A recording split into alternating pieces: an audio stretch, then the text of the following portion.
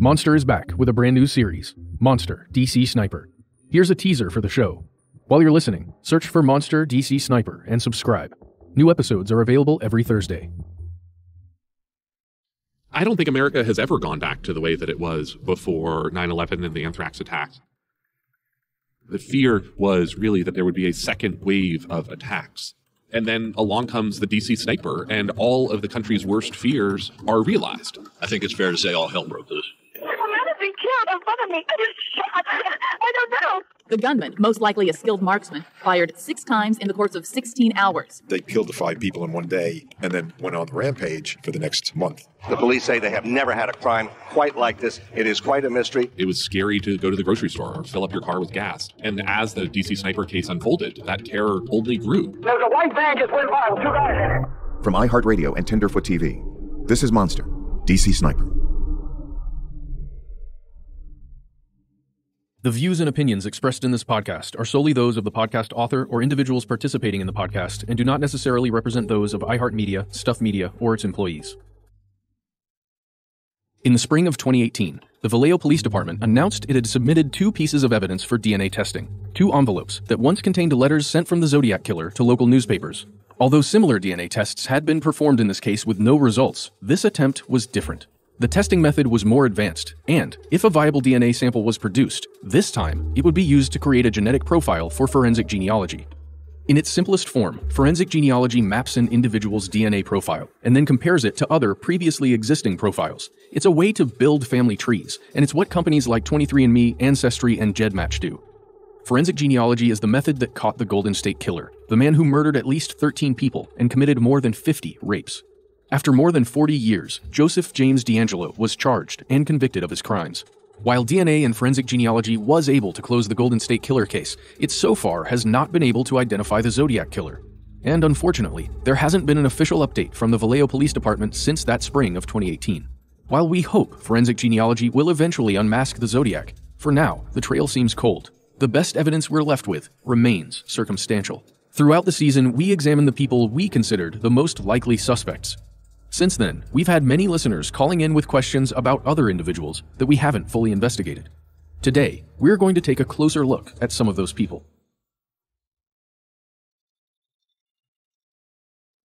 A man in a mask robbed, tied, and stabbed them, leaving them for dead. Subject stated, I want to report a murder. No, a double murder. I did it. A man who wore a medieval style executioner's hood, carried a knife and gun, and intended to use them. They haven't arrested me because they can't prove a thing. I'm not the damn Zodiac. Who is the Zodiac, and where is he? From iHeartRadio and Tenderfoot TV, this is Monster, the Zodiac Killer. According to an estimate by the Los Angeles Times, more than 1,200 people have claimed to know the Zodiac's identity, but only a few of those claims seem viable. In 2009, Deborah Perez held a sidewalk conference claiming that her father, Guy Ward Hendrickson, was the Zodiac.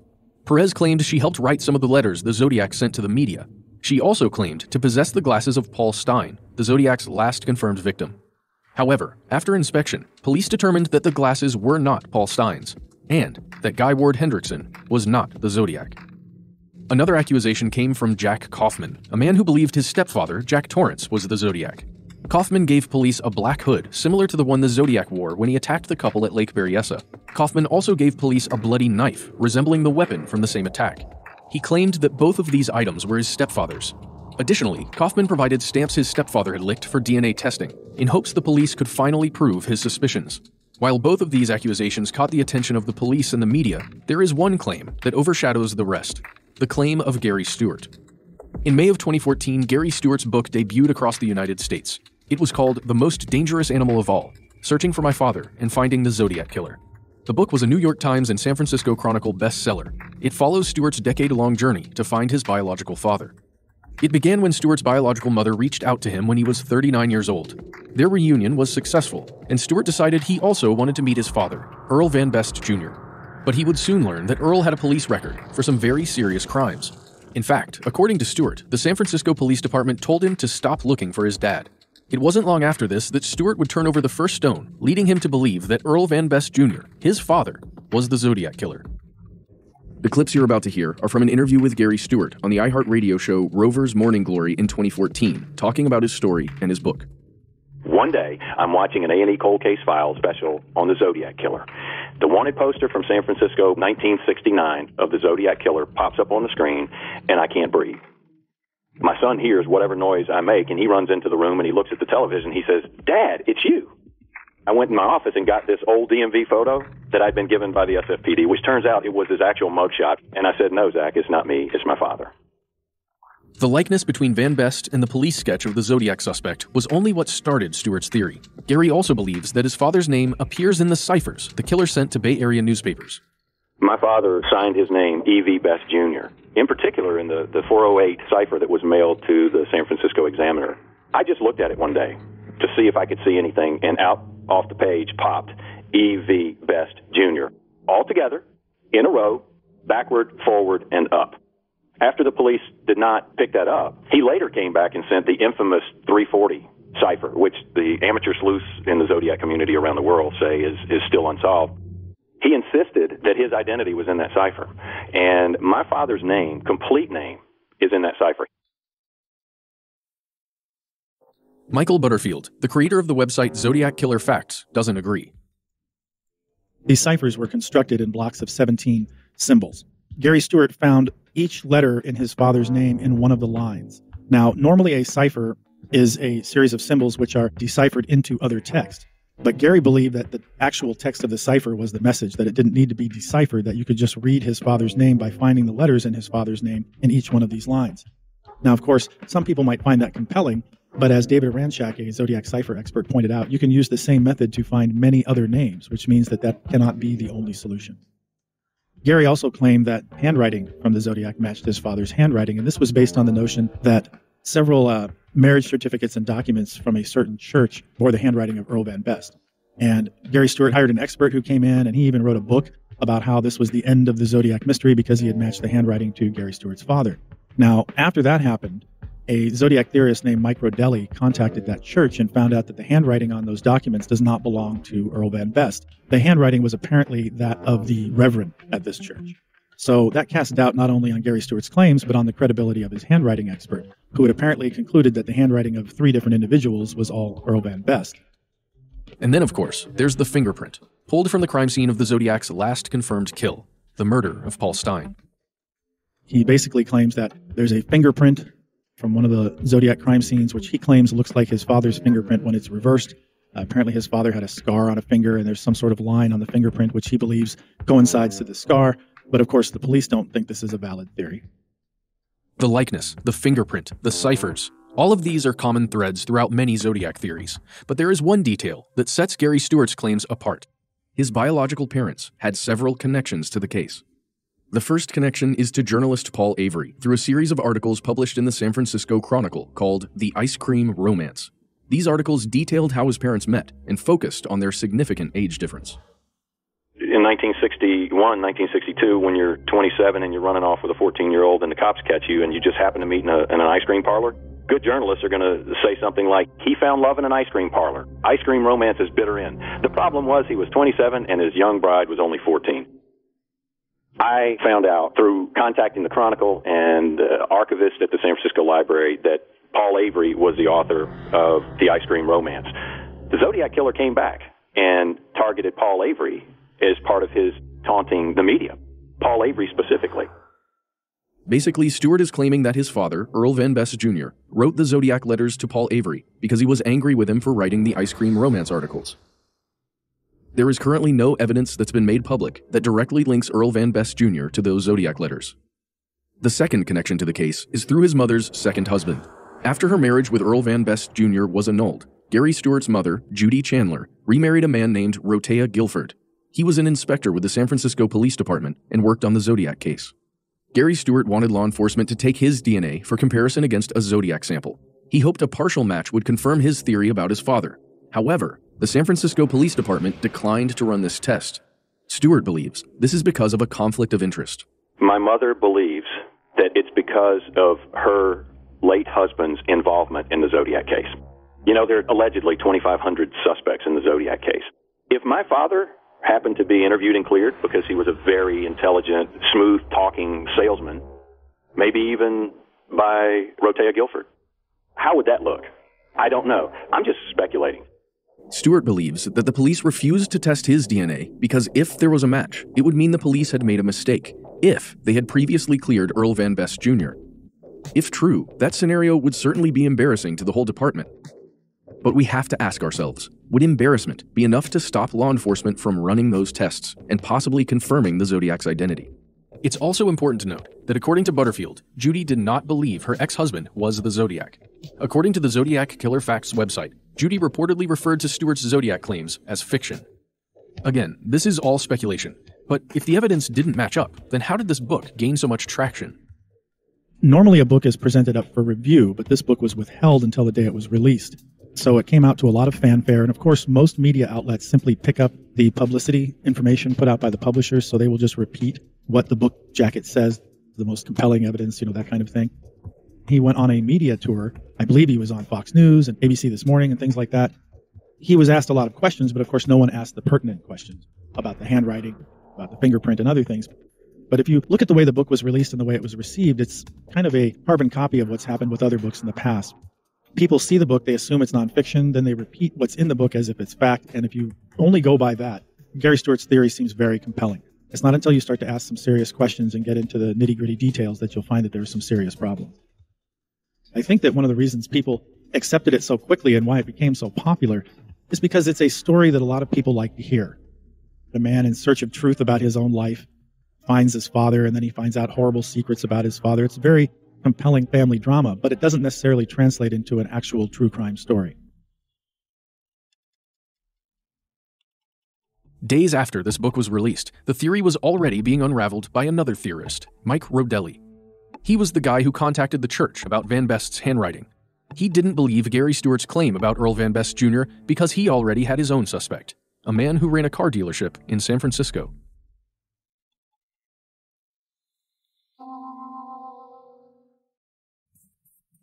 I'm Steven Rinella, host of the Meat Eater podcast and the Netflix original series Meat Eater. As a hunter and wildlife enthusiast, the question comes up how can you justify killing and eating animals that you love and protect? Well, that's part of what we wrangle with on the Meat Eater podcast, along with broader and often funnier discussions about living an outdoor life in the modern world. Listen to the Meat Eater podcast on the iHeartRadio app, Apple Podcasts, or wherever you get your podcasts.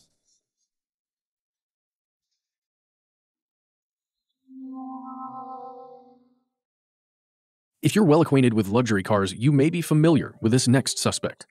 He's responsible for introducing brands like Jaguar and Rolls Royce to the United States. Although his name now circulates across Zodiac forums, when the book The Hunt for Zodiac was released, he was simply referred to as Mr. X. More than 20 years ago, a theorist named Mike Rodelli came up with the idea that the Zodiac may have written letters to the editor at several local newspapers using his real name or an assumed name. So Mike Rodelli and others began checking on the files of the local newspapers in the Bay Area, and they came across one letter from a man named Kjell Qvale. This letter apparently referred to children lying in the streets and was written sometime before the first Zodiac murders on Lake Herman Road. Rodelli thought this sounded compelling and he decided to check into this individual. Very quickly, he discovered that this man lived approximately one block north of the scene of the Zodiac's last murder in San Francisco. For people who are familiar with the case, they'll know that the killer walked away from the crime scene and headed off in a direction and was seen in the vicinity of this man's house. There was the theory that this man was the killer and that he had simply gone into his own residence after the murder. Mike Rodelli became convinced that this might be a serious lead and began investigating this individual. And over the years, he came up with some points of interest which he believed implicate this man in the Zodiac crimes. Now, Mike Rodelli has found some other people, including some investigators, who believe that he may be onto something he apparently resembled the composite sketch of the Zodiac, but then again, there are thousands of men who match that description, especially in the 1960s. And Mike Rodelli had some other interesting tidbits of what you might call trivia. Qvale was a car dealer, and the Zodiac crimes revolved around cars. Rodelli believed that there was some sort of link there. Qvale also participated in a race in Riverside, California, where there was a suspected Zodiac murder, so there was some belief that this might be a link as well. But at the end of the day, when you look at the information that Rodelli has presented, there's not a whole lot there. But let's go back to the point about Qvale having lived a block from where Paul Stine was murdered, because that's the main link Rodelli's theory hinges on. One of the things that has been a major problem with this story over the years is that Mike Rodelli contacted Armand Pelissetti, the police officer who was the first to arrive at the crime scene in San Francisco. And he was telling Armand Pelissetti about his suspect, And apparently, Pelissetti was not impressed and he was looking for a quick and easy way to make Mike Rodelli go away. He appears to have told Mike Rodelli that he stopped Qvale near the crime scene on the night of the murder. That he spoke to him and cleared him as a suspect, and therefore he had nothing to do with it, and Mike Rodelli could just move on. Now, Qvale himself has denied being that individual. Qvale said, I was not stopped that night. I was not spoken to by the police. I had nothing to do with that. And he wasn't even sure that he was in San Francisco that night. He was being asked about this some decades later, so it's possible that he could have been mistaken. But when I interviewed Armand Pelissetti myself, I asked him point blank, How did you know that this was the individual in question that you talked to that night? He had no recollection of that specific name. He had no records, and he said, At best, I think I told the investigators about it that night. So there's no credible evidence that Qvale was at the crime scene that night or that he was seen or spoken to by anyone near the crime scene. And if he was, the timing doesn't seem to support the version of events as him being the murderer. In order for him to have been out on the sidewalk and talking to Armand Pelissetti shortly after the murder, he would have to have run inside his home, changed his clothes, wiped the blood off his hands and his clothes or whatever else, and then dashed back outside to be on the street in time to meet Armand Pelissetti. There's no evidence to support that claim, and there are many reasons to doubt it. I interviewed Kjell several years before he died, and he was very friendly, he was very polite, and he was very happy to talk to me about this. He made it clear to me that he was not the Zodiac, that he didn't even understand why he was suspected in the first place. And then he said, You know, if I could talk to this person who's accusing me, I have no doubt that I could disabuse him of this idea if we could just sit down and he could get to know me. Here's a clip of Michael Butterfield's interview with Qvale. He really thinks it's me? He does, unfortunately. It's so silly and so ridiculous. It's if it wasn't so insulting, it would be laughable. You know, Christ Almighty. What would you say to him if you did have him on the phone? I, I don't know where you get such goofy ideas. Why don't you come out here and spend a few days with me and see what kind of a person I am? You know, I've been in business here for 55 years. I've been busy as hell the whole time. I haven't got time. The only thing I've ever heard is a fly. I contacted Mike Rodelli and I said, Hey, your suspect wants to talk to you. And they apparently arranged a meeting, and Mike Rodelli went out to San Francisco to talk to Qvale. But that's when things went wrong. Qvale denied being the man who was stopped on the street that night. According to Mike Rodelli, at least through his perception of things, that was just proof that Qvale was lying to him. So he didn't listen to anything that Qvale said really after that. The evidence indicates that Qvale was probably telling the truth that he wasn't there that night. But through the eyes of his accuser, that was just another reason to cast suspicion on him. In 2002, Qvale voluntarily gave a sample of his DNA to be compared to suspected Zodiac DNA, and that DNA did not match. I just did the DNA test, and the police, my guy, who was a friend of mine, a retired guy, said, It's negative, forget it. And that's the end of it. That's all I ever heard. The whole thing's negative, you can forget it. And of course, the police forgot all about me. And, and that's it. Now, there are people who claim that that is not really Zodiac DNA, and therefore the fact that it didn't match a suspect doesn't mean much. But on the other hand, you have to look at the fact that this was the 1960s. People didn't even know about DNA, and they certainly didn't know the extent to which they might have possibly left some evidence behind. There is a thing called touch DNA where they can find DNA on something just because you touched it. So the fact that Qvale offered up a sample of his DNA for comparison can be viewed as exculpatory if you believe that you know an innocent person would just say here's my DNA but a guilty person might have more reservations about handing over that DNA if he knew that he was guilty. In the end, Rodelli couldn't present any significant evidence to implicate Qvale. This is what Butterfield has to say about him. Well, he's an incredibly interesting person. If you look at his background, he had an amazing life. He sent me a copy of his memoir and I read it. It was an incredible story. But he was also very happy to talk to people about this and say, hey, I'm not the Zodiac. After this went all over the internet for several years, I think he was maybe a little more reluctant to talk about it because he didn't want to add fuel to the fire. But when he talked to me, he was very open and he was very surprised that someone could think he was a murderer. I couldn't be any more innocent if I was a newborn baby. In 2013, Qvale died, but speculation about him continues. However, just a year before his death, another theorist published a book that contained a different, unnamed suspect. This time, the cover up and scandal was focused on the Vallejo Police Department.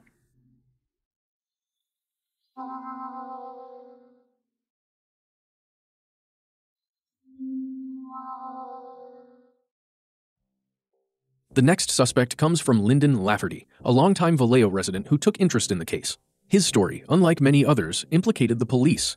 His suspect was never named. Still, Lafferty wrote a book about his findings. Butterfield explains. The main reasons that Lyndon Lafferty thought this individual could be the Zodiac was number one, of course, that he looked like the infamous composite sketch of the Zodiac. He apparently had some military background and some training in codes, and there was the theory that he had known one of the Zodiac victims, Darlene Ferrin. Darlene Ferrin had been stalked by a mysterious stranger in the weeks and months before she was killed, and some of Darlene's sisters identified Grant as that individual. Darlene's sisters also have a long and documented history of telling some pretty tall tales about this and they have identified at least five or six different individuals as being the same individual stalker. There's not a lot of reason to believe that this man did know Darlene Ferrin, but that was one of the reasons that was presented to the police in the 1970s when they were examining the suspect. And there were some other things like Lyndon Lafferty believed that some of the Zodiac letters contained clues to Grant's identity. There was a Zodiac letter in which he mentioned something about a basement and being swamped out. Grant had a basement which was apparently flooded. This individual owned a 1961 white Chevrolet, which was said to be similar to the car used by the Zodiac at the Vallejo attack. And this individual apparently hung around a rest stop in the Vallejo area. At one time, he had some sort of face off with a highway patrol officer, and this was one of the reasons that he came to the attention of Lyndon Lafferty. The Vallejo Police Department investigated this suspect in the late 1970s and did not find any evidence to implicate him in the Zodiac crimes. Lyndon Lafferty and others who believed that Grant was the Zodiac were not satisfied. They claim that there was some sort of cover up or interference from a local judge, and that's why the title of Lyndon Lafferty's book is The Silenced Badge. The notion that they had identified the Zodiac but were somehow silenced by this cover up and conspiracy.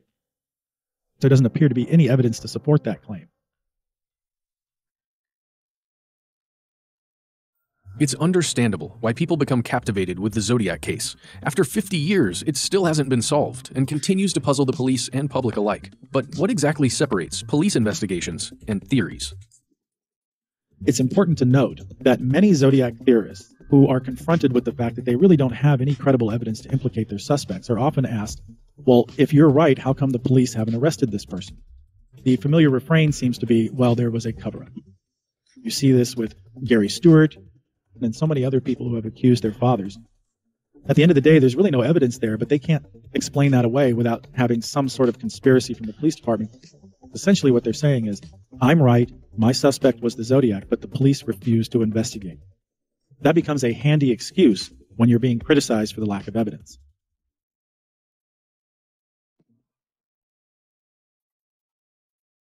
Monster, the Zodiac Killer is a 15 episode podcast hosted by Matt Frederick and produced by iHeartRadio and Tenderfoot TV. Matt Frederick and Alex Williams are executive producers on behalf of iHeartRadio, alongside producers Miranda Hawkins, Josh Thane, Ben Keebrick, and Trevor Young.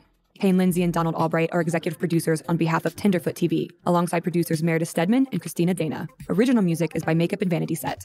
Make sure to catch the new season Monster DC Sniper. New episodes are available every Thursday. Search for and subscribe to Monster DC Sniper on the iHeartRadio app, Apple Podcasts, or wherever you listen to your favorite shows.